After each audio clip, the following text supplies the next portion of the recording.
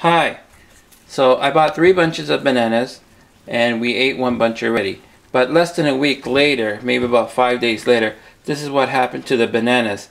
And I go, oh my gosh, I gotta really keep on eating this. And this is our second bunch. And what do you think our third bunch is gonna look like?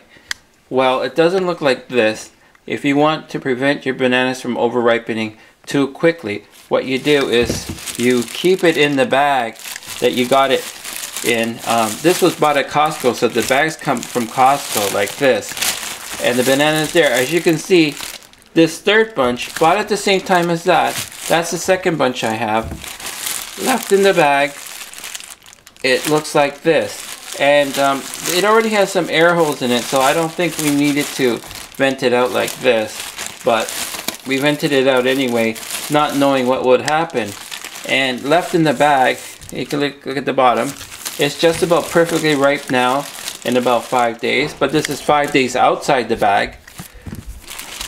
So this is how you prevent it from over ripening. And I can at least stretch this banana out for a week. So if you're having uh, to wonder how you're going to keep your bananas from over ripening too quickly, I suggest leave them in the bag that you got.